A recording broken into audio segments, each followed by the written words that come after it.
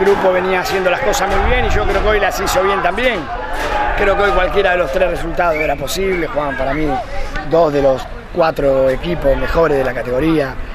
Y bueno, eh, a veces hay que perder. Eh, tocó perder hoy, lamentablemente siempre fuimos a buscar.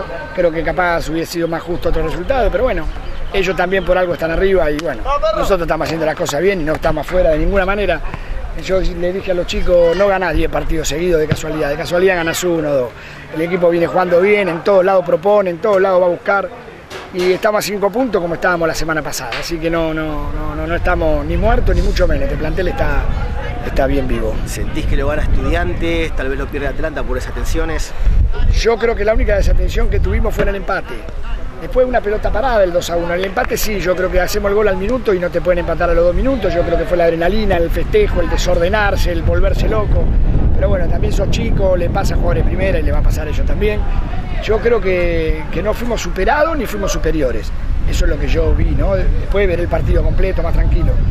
Eh, yo creo que ni lo superamos ni nos superaron. Eh, no abandonamos la línea de tres, seguimos yendo a buscar.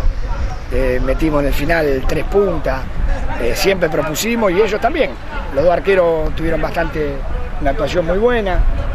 Es así, uno tiene que ganar y el más amargado soy yo porque un empate te deja mejor parado, ¿no?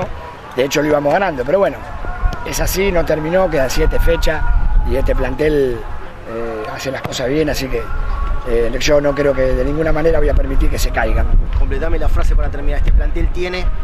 Este plantel tiene todo para ser campeón. Ahora sí, ahora vamos a salir campeones.